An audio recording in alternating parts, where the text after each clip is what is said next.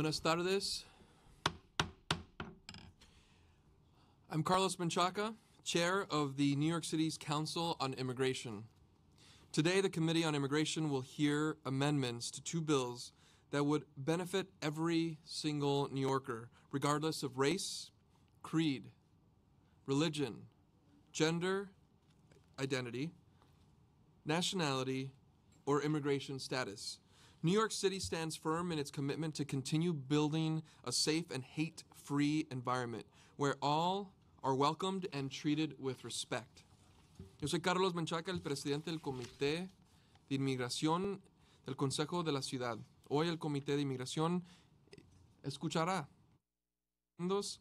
a dos proyectos de ley que beneficiarán a cada neoyorquino, independiente de su raza, credo, religión, identidad de género, nacionalidad o estatus migratorio. Nueva York se mantiene firme en su compromiso de continuar construyendo un ambiente seguro y sin odio, donde todos los neoyorquinos son bienvenidos y tratamos todos con respeto. Muchas gracias.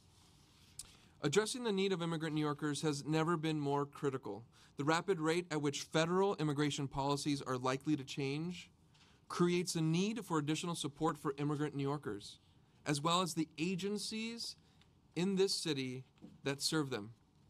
Intro 1566 would expand the role of the mayor's office of immigrant affairs by requiring that they, re- that they establish a state and federal affairs unit to follow changing federal laws and policies.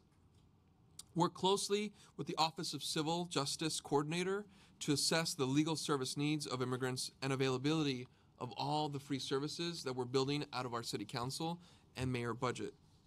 Monitor city agency compliance with laws and policies designed to protect immigrants.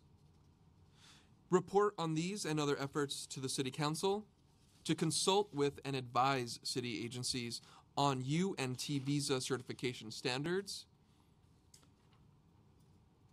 uh, issued by the city agencies, and then add and expand on reporting, specifically on metrics for MOIA programs, including our legal services. Intro 1578 would require MOIA to establish an interagency task force that will create that will be created so that they can meet regularly to coordinate city services for immigrant New Yorkers and our city's mixed status families regarding agency compliance with relevant local laws relating to immigrants, legal and policy developments at the state and the federal level, and their impact at our city level. Obstacles to assessing city programs and services, to review MOIA's solicitation and consideration of community input. Unique services needs of particularly vulnerable and immigrant populations, including victims of crime, domestic violence, and human trafficking. Individuals who are lesbian, gay, bisexual, transgender, queer, intersex, or gender nonconforming, individuals involved in criminal justice systems, and minors, our youth.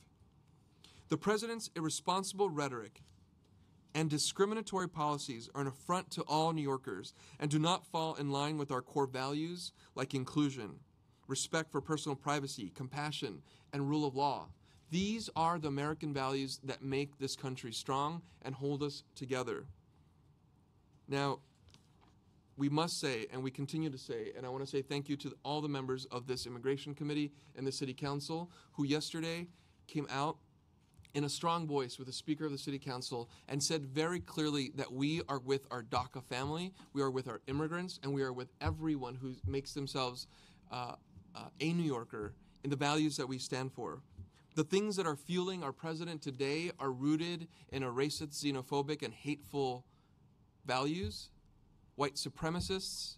These are the people that will not stand, we will not stand for and we will continue to innovate in our ways as a city to strengthen diversity, inclusion, justice, and fairness. That is how we have overcome the odds in the past, and that is how we will keep moving forward.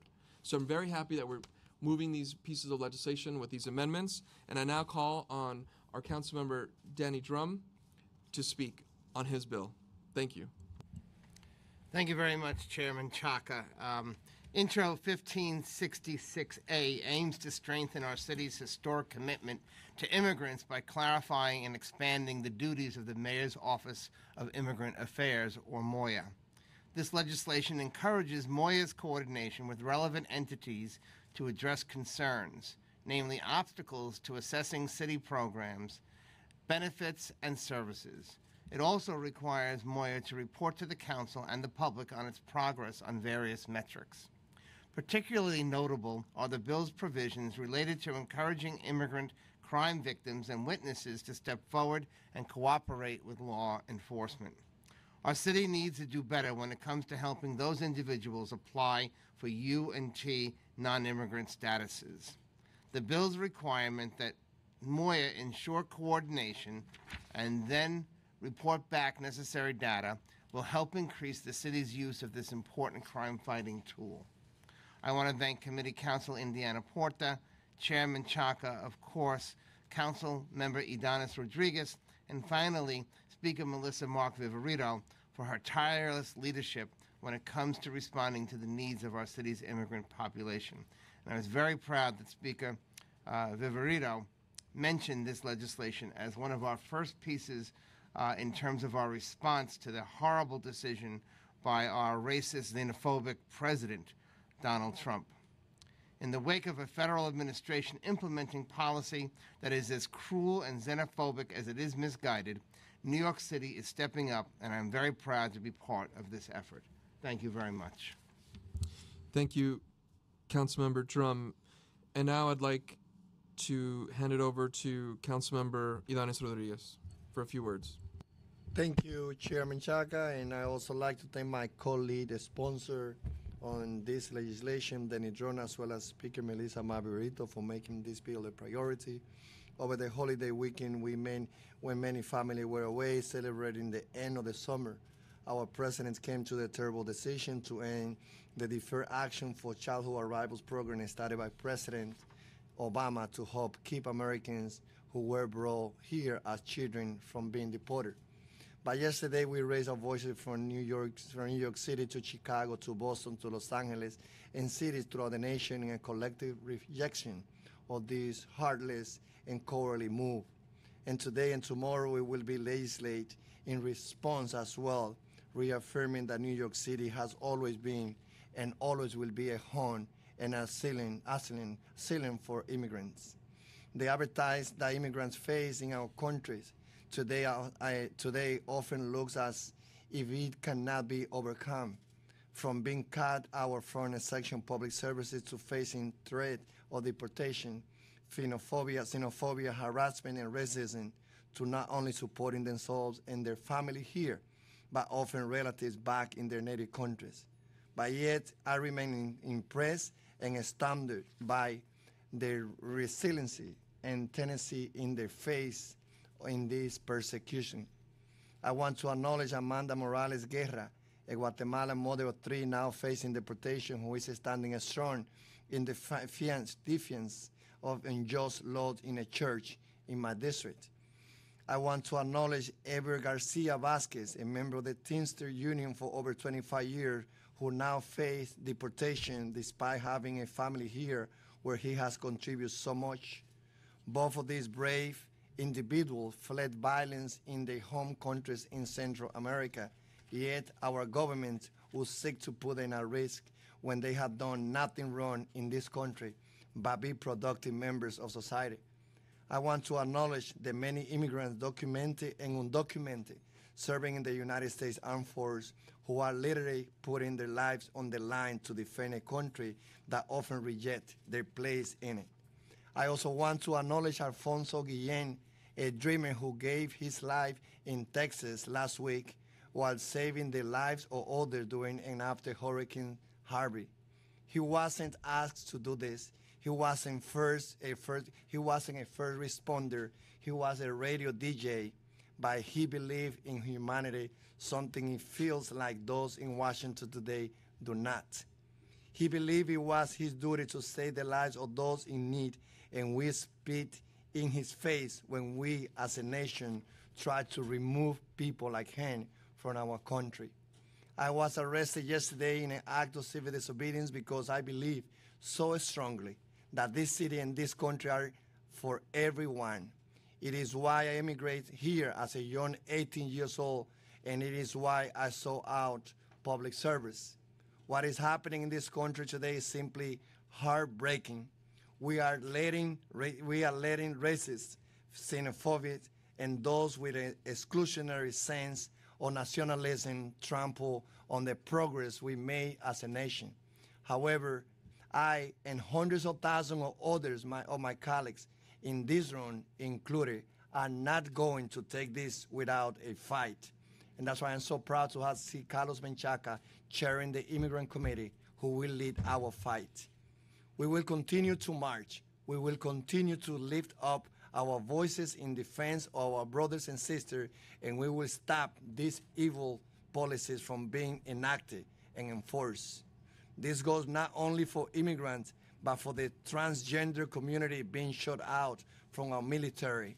It goes for our Muslim brothers and sisters who are facing blatant discrimination to their racist attempts at a travel ban. It goes for everyone who has been impacted by the rise in hate crimes and fear tactics perpetrated by cowards scared of a country that looks a little bit different than them. Today, I'm calling for a national movement to resist these policies throughout nonviolent civil disobedience.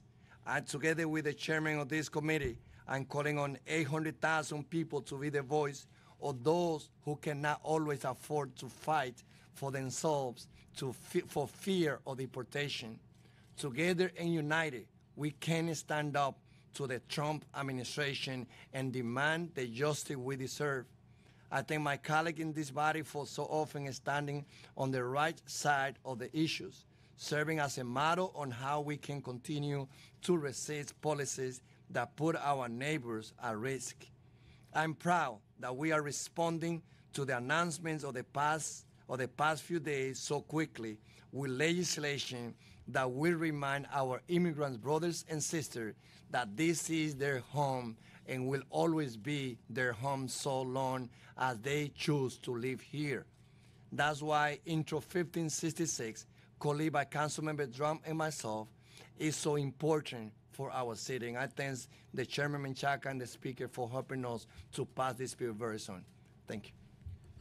Thank you, uh, Councilmember Rodriguez, and all the voices that you lifted in your statement, and your continued support of Amanda and her family as we move forward in your district. We were our our hearts and prayers are with everyone, and so uh, I'm going to call the vote. Um, but I do also want to acknowledge that Councilmember Koo and Councilmember Espinal are here as well today from the committee, and I want to highlight something very important about these bills. These both of these bills have been a result of the tireless work that this session and this committee have done in our leadership with this committee and the Speaker of the City Council.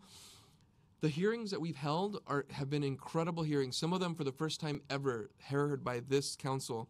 The day laborers and domestic violence. We had a public hearing on mixed status families and agency coordination. We had two hearings about immigrant seniors, adult literacy hearing, dreamers hearing, their voice in this council about their needs, human trafficking, a topic for the first time ever raised on ethnic media. The upcoming UN T visa hearing next week on September 13th that I invite you all to be at. We also had a hearing on legal services and the unaccompanied minors and deta- detained immigrants, language access. And all these were accompanied by the first time ever that we've had a budget negotiations hearing by actually holding a budget hearing here where we brought the city to tell us one thing how is this budget impacting our immigrant brothers and sisters and our immigrant families? That is the power of this council, and that is something we continue to wield here and forever. And with that, I want to call the vote. Thank you. William Martin, Committee Clerk. Roll call vote, Committee on Immigration. Chairman Menchaca. I vote aye. Dromm. I vote aye. Koo. Uh, may I explain my vote? Uh, th- first, I want to thank uh, Chairman Menchaca for uh, doing a very wonderful, very good job for advocacy uh, for our immigrants. Being an immigrant myself, I condemn uh, President Trump for his actions on DACA and, and all the other things. No? I want to thank uh, Councilmember Dromm and Rodriguez for their uh, leadership in helping immigrants in New York City. Uh, so I want to add my name to both of the two bills. Okay, so with that, I, I vote aye or no. Espinal.